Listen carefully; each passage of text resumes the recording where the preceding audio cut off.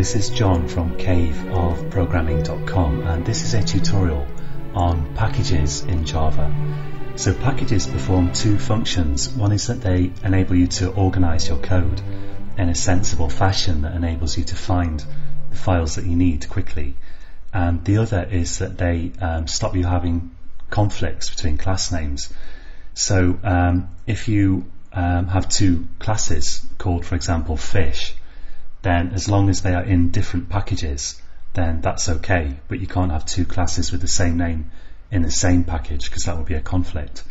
So let's take a look at an example here. I'm going to create an, I've got Eclipse running and I've got my main method here as usual and I'm going to go to file new uh, class and I'm going to create a class called fish and up here you see I can specify a package now package names um, by convention are usually all lowercase and they can't have any spaces or um, they can't have spaces in them and you don't usually put underscores in them or anything like that. Um, usually a, a, package name is something um, very simple. So let's call this ocean. So I'm going to put the fish class in the ocean package. And I click finish. And in app now let's say I want to use the fish class oh actually before I do that I need to tell you that um, you'll see that fish now has a statement at the beginning saying package ocean that says it's in the ocean package. And if you have a package statement um, in your file your class file it should be the first um, statement in the file. So it's got to come first before your other statements. And if you look at your disk so let's right click the um, project folder go to properties go to the resource um, section here. Here's my um, the actual folder that my um, my project is physically in on the disk. So if I right click that and just copy it cancel there and if I let's go to that on in Explorer. Uh, I'm already there I think actually. Here we go. Um, so um, the convention in Java and Eclipse creates this automatically for you is that usually you have a source SRC folder that contains your Java files and a bin folder that contains your generated class files.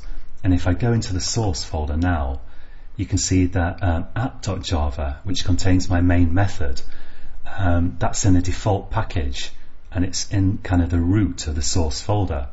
But I put fish in the ocean package and anything in the ocean package is going to be in this ocean folder subfolder. So there's my fish.java and that structure is also reflected in the output folder the bin folder.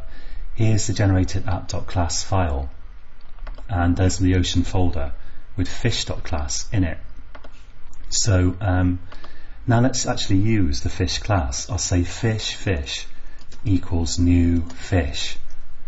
And um, I'll get an error initially but what I have to do is um, after any package statements that might be here and um, excuse me. So actually in this in this case here um, because app is in the default package um, I haven't got a package statement but if there was one um, I have to type other statements after that.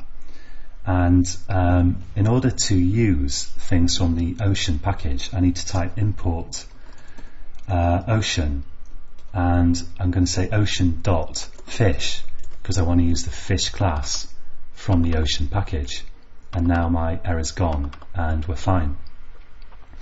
Let's create another um, class in this package. So I'll right click the package folder here and I'll go to new class. And you see that the package is now filled in for me because I right click the package. And let's create here um, something like, I don't know, seaweed. So seaweed.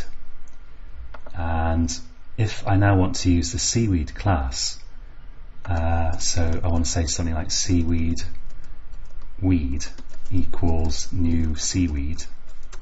I'll just do control uh, space there. And in fact, if I do this, Eclipse, I think will add the import statement for me. There we go. Um, so you see Eclipse has added um, another import statement or I could have just typed that by hand. Now an alternative that you should know about to having a different import statement for each class is you can type, you can import everything from one package by just saying import, uh, in this case, ocean.star. And star um, is a wildcard that means import any class from that package. Um, so now I can use both of these classes. Uh, but the great thing about using modern IDEs like Eclipse is that you actually never have to worry about typing. Ah, sorry, that was my doorbell going there. I was going to say you never have to worry about typing import statements yourself um, because you can use a shortcut and your IDE will handle it for you. So um, if you right click and go to source um, and go to organize imports. Um, and you can see the shortcut for that is control shift and O. Um, Eclipse will automatically add any import statements that you need and it will remove any that you don't need. So if I select that you can see it's added um, all the imports that I need here. Um, as long as it can find the class files somewhere like either they've got to be defined in your project or they've got to be defined in a jar file that you've included into your project then it will deal with adding the actual import statements automatically. So if I remove that again and I could do control shift and O so you need control and shift at the same time and then press O. Then again it's uh, that's organized my imports for me and added the ones that I need. Now, um, packages are hierarchical in Java, uh, so you can have packages within packages. Um, and if that sounds mysterious, uh, you only have to think that, well, you have folders within folders on your disk, um, and it's pretty straightforward, and the packages just map to those folders. The difference is that um, whereas uh, with folders, if you specify a folder name, you, you usually use slashes to separate the different subfolders. With packages, you use dots. So let's see how that will work. Supposing I've got an Ocean package and I want to create a sub package within that called um, plants, let's say. So um, I'm going to go to File, New, and um, New Class, and let's have a plant like um, uh, I don't really know. Let's say um, algae which uh, algae, or however you pronounce it, I guess is a type of plant, or is it an animal? I'm not really sure. Um, anyway, that'll do. Uh, it doesn't matter. And I'm going to type here, I'm going to say that I want this to be in the ocean package, and then I want it to be in a sub package of ocean called plants. I think algae are creatures actually, uh, but yeah, not important. I'll leave that. Okay. Um, so if I click finish now, um, you see that I've got this package here, ocean.plants, with this class algae in it. And if I look on my disk, then um, in if I if I go to let's say the um, source folder and I go to ocean um, and there's so I'm now in my ocean folder corresponding to my ocean package and that's now got a subfolder in it called plants which has my algae in it um, and I could like take my seaweed in Eclipse if I want and drag it into the ocean package like this. So click OK. And now seaweed is in the subpackage plants of ocean. And if I look at seaweed um, now at the top it says package ocean.plants so Eclipse has updated that for me.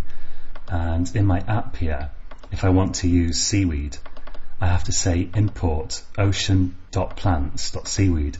So this is saying um, import the seaweed class from the plants package and plants is a sub package of ocean and uh, you separate the different sub packages by dots.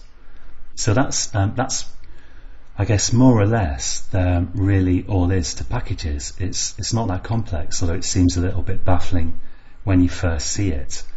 Um, and there's there's just one thing that I think I should mention, which is that if you want to um, distribute your code so that other people can use it, um, which would usually be in a jar file, then um, you want to make sure that your package name that you put your stuff in um, is unique in the whole world, so that um, people can use your packages. And it doesn't matter even if someone someone that uses your code might already have a package called Ocean themselves. Um, and then if you have a, a package called Ocean, um, it could conflict with their package, or at least um, they might have a class called Fish in a package called Ocean. And if you give them a jar file that also has a package called Ocean with a class called Fish in it, then they can't use it because there's a conflict there. And for that reason, um, there's a convention in Java for creating worldwide unique package names.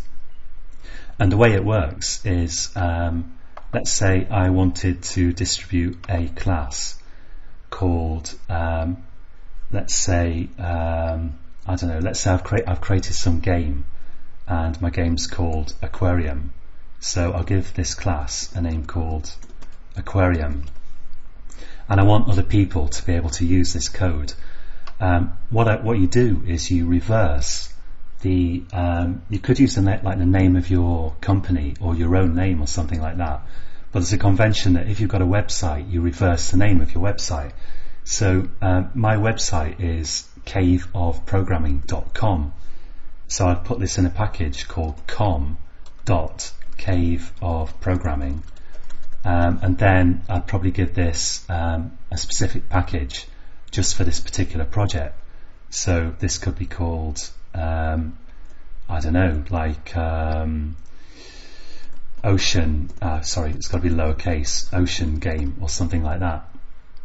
And then um, so now um, my if I look on a disk so my aquarium here is in this package com.caveofprogramming.ocean game. Um, and my website's caveofprogramming.com and this particular project is called Ocean Game at least as far as the package goes and if I look on a disk of course I'm going to see um, a com folder in the source folder um, with a Cave of Programming subfolder with an Ocean Game subfolder in it, and there I'm going to put more sub packages for my game just as I need them for organizational purposes. And um, wow, it's really noisy here. There's dog barking now, and uh, also that's going to be the same in your. You can have a bin folder that has the same subfolders, and if you put those into a jar for distribution, your jar file will maintain that package hierarchy within it.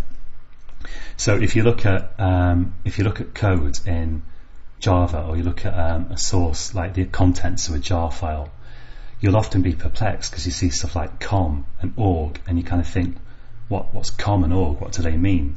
But it's really very simple. It's just a reversed website name and that's all it is. It's basically just a folder um, and that's all there is to it.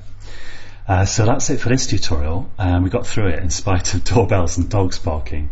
And in the next tutorial, um, I'm going to show you the basics of using generics in Java, which uh, there's something that you don't need to use for your own classes very often, but you often need them to use existing classes.